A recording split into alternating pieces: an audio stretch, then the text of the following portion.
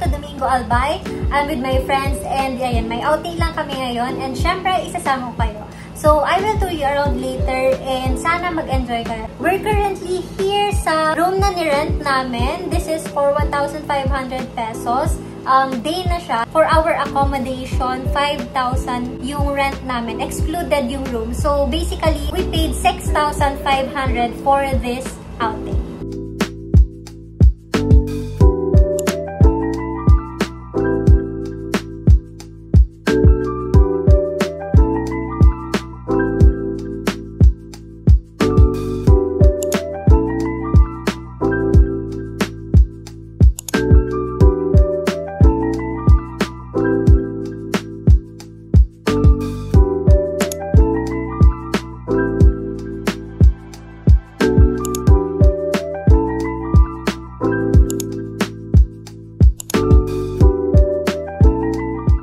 Guys, yung room na ni-rent namin. Biglaan lang din kasi hindi pala siya kasama sa 5K na binayaran namin. But yeah, look at that. Meron tayo ditong dalawang single bed. I mean, this one is single and ito, pwede siyang pangdalawahan.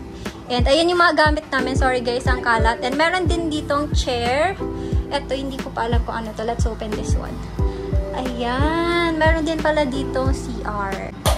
Ayan, inopen ko lang guys yung lights para makita yung interior ng CR ng room na pwede nyong i-rent here. And yeah, meron ditong maliit na mirror. Hello guys! Paglabas nyo naman ng room guys, meron ditong tables and chairs na pwede nyong gamitin for chill. And pwede rin kayo dito mag-picture-picture sa area na to kasi dito din nag-picture-picture yung friends ko. And ayan, super comfy ng upuan na to. This one is room 86 and dun kami.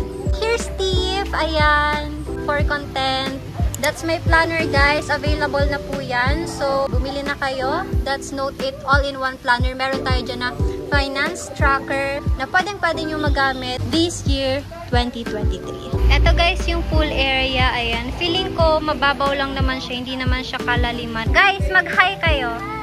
Hi vlog. Ayan. Pwede dito guys yung mga bata. Safe naman kasi mababaw lang. And dito, medyo malalim, pero not that malalim. Ayun yung gate na part, and ayun naman yung parking. So, malapit kami sa parking area.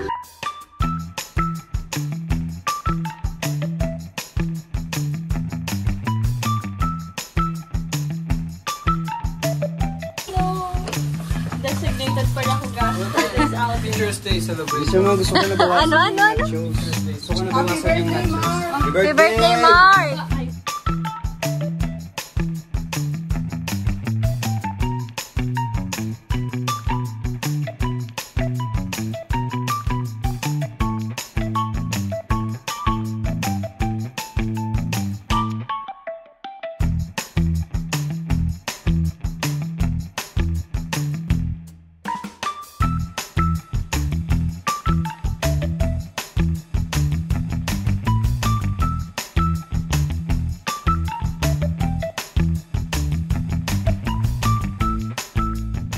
That's it for this video, guys. Pauwi na kami.